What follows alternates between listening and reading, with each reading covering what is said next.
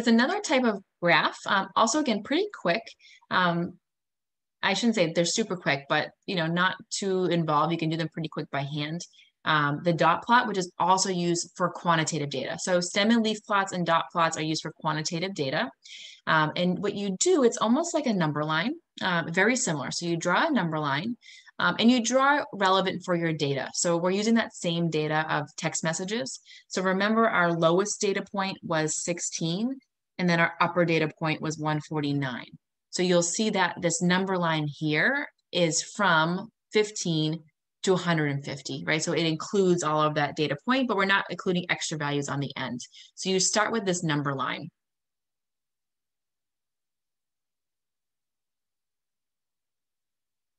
And then what you do is you put a dot above the number line for each point.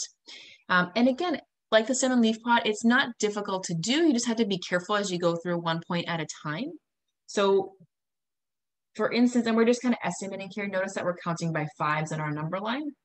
So one of our values was 16. So you can see they put a point right here where 16 would be. And then we had another data point that was 19. And they put a point right there where the 19 would be. We had another data point that was 20. So I'm just going to kind of um, use look at my original data for a second here.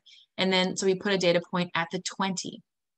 Now, things that are stacked means that the value occurs more than once. So for instance, in this kind of group right here, if you look, you're just a little bit beyond 25.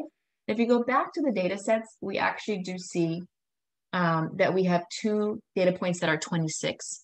So you have 26 and then 26. So we put those dots right on top um, when we have a repeat data point.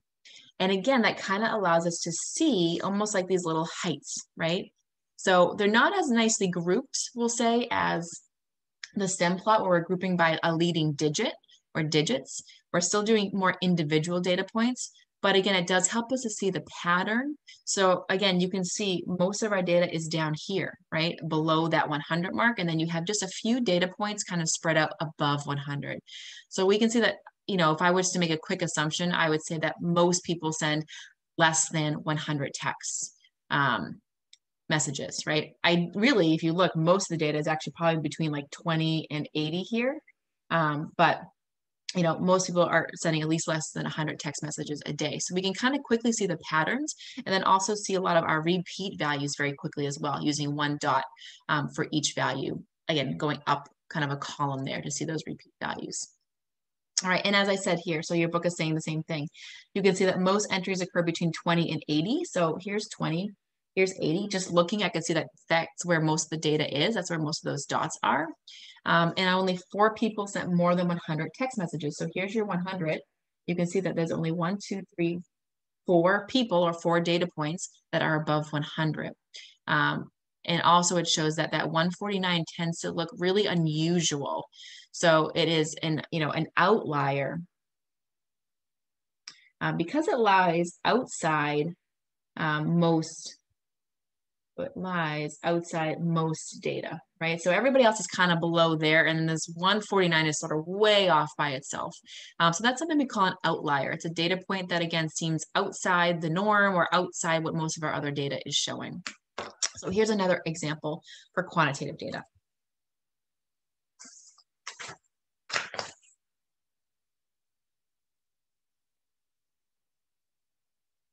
So we also have charts for qualitative data. And again, these are just some. Um, bar, bar graphs can also be used for qualitative data as well. Um, and we'll see one of those examples next. So one type of chart or graph that we use a lot would be pie charts or circle um, graphs. And particularly we can use them for qualitative data. Um, I suppose you could use them for quantitative data too, but it, it tends to lend itself better for qualitative data. Um, and we typically use percentages here. So instead of just listing the raw values, which we do have in our chart or our pie chart or our circle graph, we use the percentages. So those relative frequencies instead. And there's a few things you need to know. So a pie chart is a circle that's divided into sectors that represent categories. And the area of each sector is proportional to the frequency of the category. So that means that it the size should match with the percent. So in this example here, notice that the percent for those who have bachelors is 40 around 49%, which is about 50%, right? And 50% of 100% is half. So you're noticing that that segment there is almost half the size of the circle. So this is what we mean by proportional. When you have a circle graph, the total is always, always, always 100%. So your percent or your pie slices should be in line with how big the numbers are. If they're about 50%, then your pie slice should be about half the circle. Here, this pie slice is around 26%, which is around a quarter of 100%, right? A quarter of 100 would be 25. So you can see that's taking up about a quarter or a fourth of the circle. So your slices should be proportional with the size. Now, how can you find these percents? So we can find our percents uh, by just doing some simple math. So we already have the raw data that is broken down. So we have, these are the different degrees earned in 2014. Um, they're in thousands. So here you have 1,003 associate degrees. Again, it's 1,003,000 associate degrees. So you're actually looking at a million there. Um, so when it's in thousands, it really means to tack on an extra three zeros, right? At multiply that number by a thousand. Um, and then you have your bachelor's, master's, and doctoral degrees as well. So you can always find your percent by taking the frequency and dividing it by the total and then multiplying that by 100%. And that will give you this, you know, the percent for each of those segments. So for instance, First thing I have to do is to find the total there. So I'm just gonna get out my calculator. So I see that I have 1003 plus 1870 plus 754 plus 178. And when I add those all up, I get 3,805. So for instance, to get this first relative frequency, what we're gonna take is the part the 1003 and divide it by that 3,805.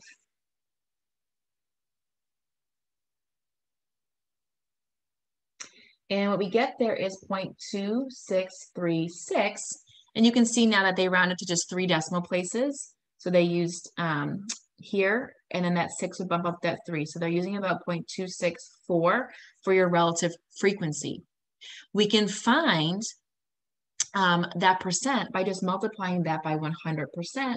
And that's how they get the 26.4%. And it's the same thing for the other ones. Let me just do one more. So let's say for the bachelor's degree, I take whatever the number is for the bachelor's, and then it's always the total on the bottom. So 3,805.